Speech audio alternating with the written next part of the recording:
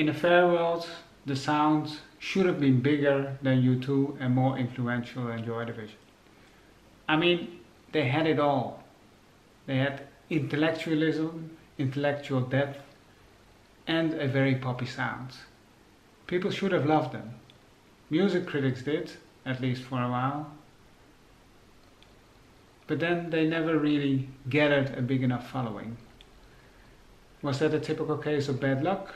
Or was there something more, where they're just not weird enough, not poppy enough, not angry enough, not romantic or depressed enough, simply not enough of something?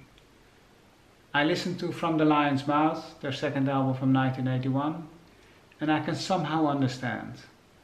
Most songs are mid-tempo vehicles for Adrian Borland's voice and his lyrics.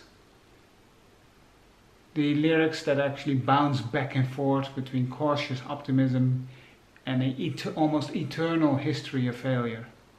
But then it still hits me. It's a clever album. It turns you upside down, turns you inside out. Best examples Winning, a surprise victory lap for losers. New Dark Age, perhaps the best doomsday anthem ever created. And Judgment, a song so restrained it practically unfolds in front of you. And if you listen closely enough, you'll see diamonds all everywhere on the album. Diamonds that are just waiting for a bit of light to shine.